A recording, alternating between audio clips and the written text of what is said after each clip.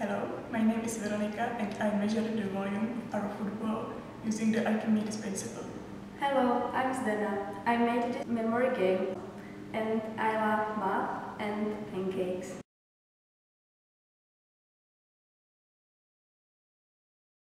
We are pancakes from Hi, my name is Lucy. I measure rebounds on the different surfaces. I love football and I support FC Viktoria Plzeň.